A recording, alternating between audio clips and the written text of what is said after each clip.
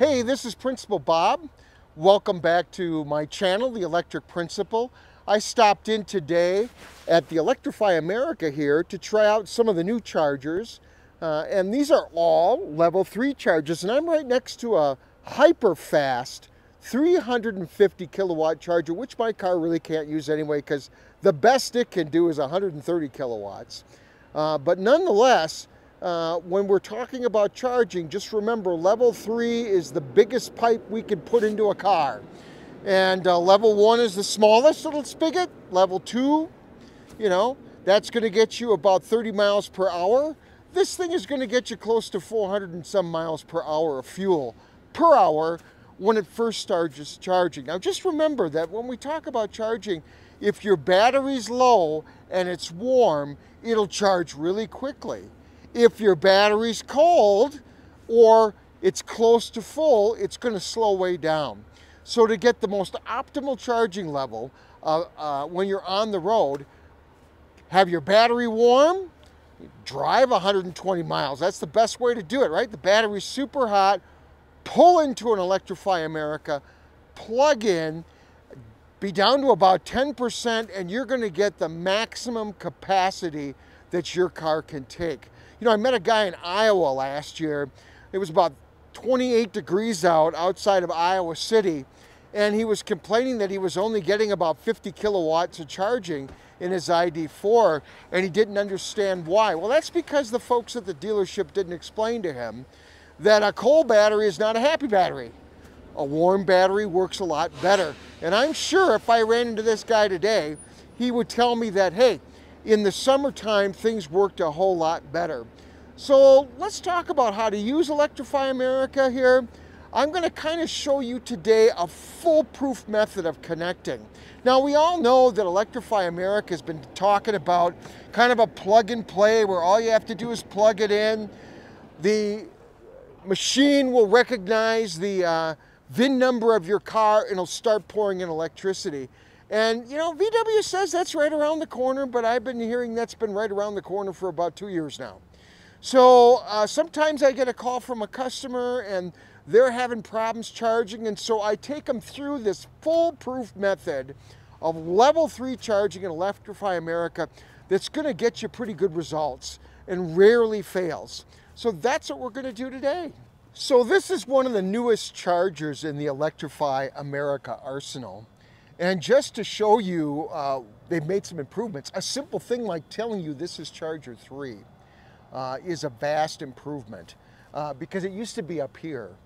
And if you want a foolproof method of charging, you definitely want that uh, to know the number of the charger so that when you use your app, you're plugging into the right charger. So here we are, folks, at the Electrify America station uh, in Loveland at Target, which is a good place to stop. Uh, that's one of my favorite stops at Electrify America is Target stores. And uh, I've got it right here on the map. I'm just going to push the Target store here to get into that. Uh, and I'm going to click on that. And what it's going to tell me is here I am at Target in uh, the uh, Target store T1178 in Loveland, Colorado. And now that I've clicked in, I can scroll up and it's going to show me the chargers. And right now we are going to use charger 3. We know that's the one that we are at. And so what I'm doing right now is presetting this. Before I plug my car in, I'm simply going to use the app to get to the right station, click on that, it's telling me it's available, and then you're going to notice at the very bottom, once I plug the car in, I can swipe to start charging. So here's the process I use. I don't do this until uh, I'm plugged in the car, it's ready to go. I only let a second or two go by, and then I slide that, and it works almost every time. I've rarely ever had a failure. I've driven cars from uh, Fort Collins to Madison, Wisconsin, to Portland, Oregon, to uh, you name it, and uh, including Texas. And this method has not failed me yet. So until we get the plug and play, uh, the long promise plug and play, this is the method that I really recommend. So let's go back out of the car now and we'll, uh, we'll get it hooked up and see if we get this baby charging. So folks, at this point, I have got my app all set up. I'm ready to swipe it across. So now all I really need to do is plug the car in and then walk over and we'll see how the charging works. So uh, let's get this rolling. No further ado. So I'm going to take this huge plug, heavy duty, actually has its own cooling system built into it. And it's a bit of a it's a bit of a beast. You know, you got to put it in the right position. I'm twisting it with my right hand here a little bit, locking it in. I'm ready to go. I am now going to swipe and we're going to take a look and see what's happening. So it's initiating charging and connecting to vehicle. So we're looks like we're going to have success. What I really need is a green light here.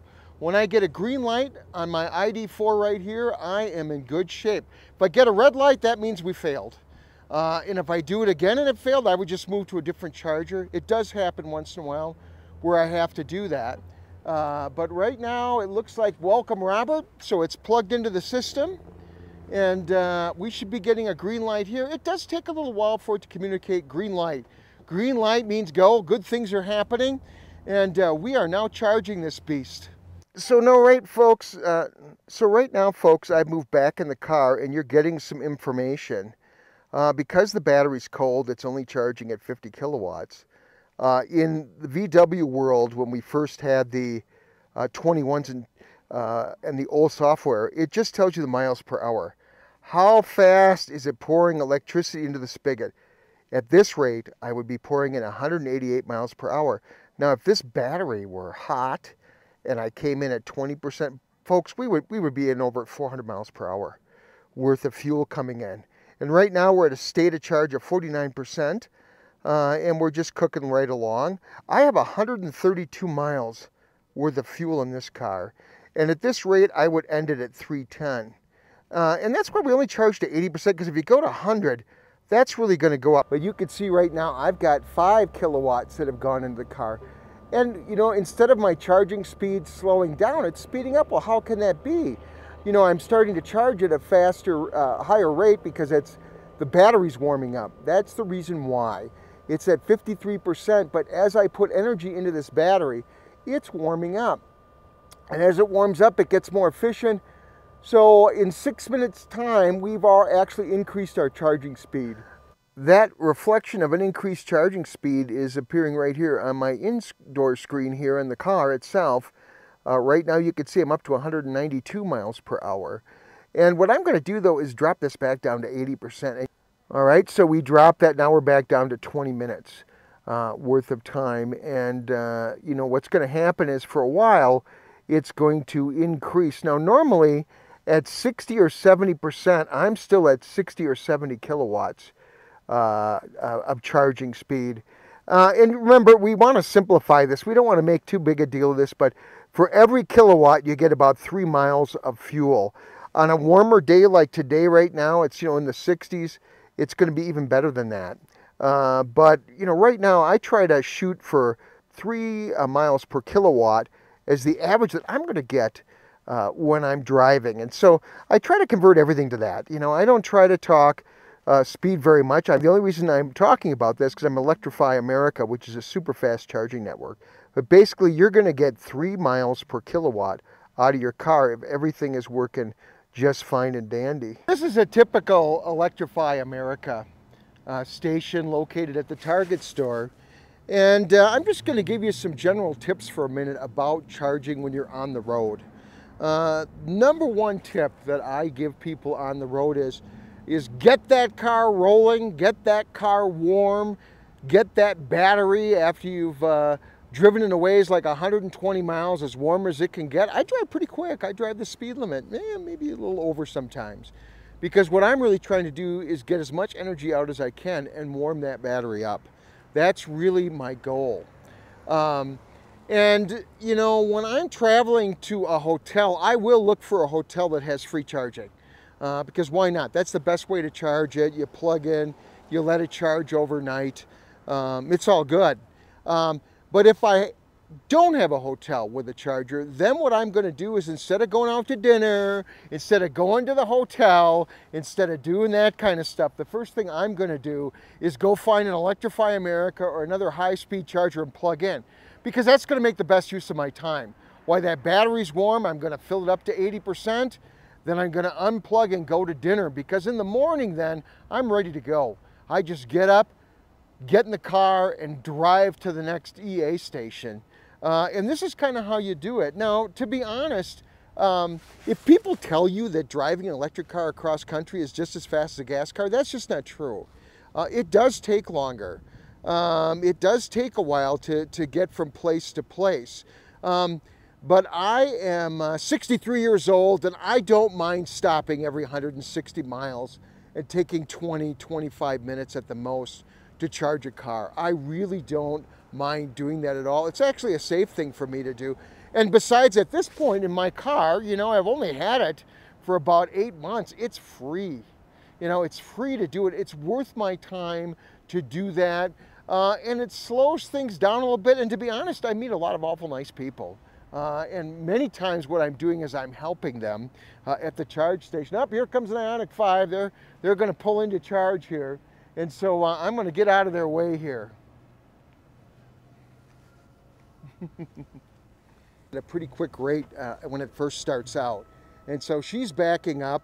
And uh, uh, the, both the fast chargers are taken right now. There's a third one here but she really needs a fast charger. I could park mine next to a charger um, that would uh, really slow down and use a lot less energy uh, than, a, than a, uh, a fast charger. Uh, Go right ahead. I actually, if you don't mind, I'm using a little footage of your car backing up because I talked about how fast your car charges and that people shouldn't hog these fast chargers when they've got a car like mine that charges slower. 150 would be just fine. You actually can use a 350. It's that good a car. So right now I've hopped back in my car. You'll notice there's only five minutes left, but you know what? What's nice about VW products is when they start a charger, they start a charger. Now I'm almost to 73%. My charging speed has not slowed down one iota. I am at 188 miles per hour right now, which is pretty darn quick. So now I've charged for 24 minutes. I've got 22.4 uh, kilowatts worth of energy in here. Uh, I'm at 75%, uh, and we're still cruising along here at a pretty decent clip. Uh, and we're almost done now. I'm going to end the charging pretty quickly because I really don't need to charge right now. I'm just doing this for demo purposes. And that's just to point out that I would have probably quit charging a long time ago. I've got quite a bit of range right now on this car, enough that I could have gotten this car from here to the next EA station uh, without any bother at all, especially if I'm heading south towards Denver from Fort Collins, where there's, there's no less than 30 stations down there. Uh, but that's how you run it. You know, you run it so that you get just enough fuel in here that it's going to get you where you need to go. Don't waste another minute charging uh, unless you got you know your Diet Coke to sip or your latte, uh, and away we go. Now, uh, just a reminder here at EA, uh, once we're done charging, we got 10 minutes to get back to the car. If you don't get back in time, it's going to be around 42 cents a minute. They're going to charge you for your latte fee for, for doing that because we want to keep the chargers clear. And that's one of the etiquette things we're talking about. Don't sit there and hog a charger uh, when you're done, even when if you're paying the latte fee. It's more important to keep these chargers open. There's more VWs and Ioniq 5s and you name it on the road right now than ever before. Uh, and, you know, Tesla, watch your back. Uh, because, you know, I've been here a few minutes now. There's three cars charging uh, at four stations. And you know what? Uh, the electric revolution is begun. So uh, once we're done charging, I put stop charging on the uh, meter. All of a sudden my light turns white. And uh, let's see how this is going to work. This out and unplug it. If I had any issues at all, I would just click the, uh, I would just click the, uh, my unlock button on my key three times and we'd be ready to go. So wait a second, we got that in there nice and tight. We're gonna look at what the chart, right now it's telling me that uh, I charge for 26 minutes, 23 kilowatts. Uh, my grace period hasn't even started because I quit beforehand and it will tell me what the bill's gonna be. But the nice part about that is, is there is no bill. I haven't got a bill for three years because I drive a Volkswagen. And when you drive a Volkswagen, you're not gonna get a bill for three years unless you go over 30 minutes. And I've only done that one time. So, hey, happy traveling, happy Electrify America. Up our charging session here.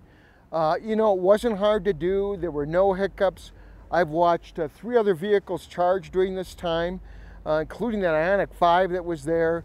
Uh, nobody had a problem with these chargers. I think the new chargers are great. I think that you're going to find them vastly improved, and I hope you make good use of them in the future. So there's nothing left for me to do except put the cap back on the electrical uh, charger over the uh, DC port, shut the box, and it's time to head home. Hey, once again, thanks for joining me at the Electric Principal. I really appreciate your time. Uh, I hope you liked this video. I hope you subscribe to my channel. Uh, this is really a new venture for me. I'm putting 32 years of education to work here uh, in the hopes that I'm going to reach a larger audience and spread the gospel of electric. This is the Electric principal, Bob Flaherty, saying have a great day.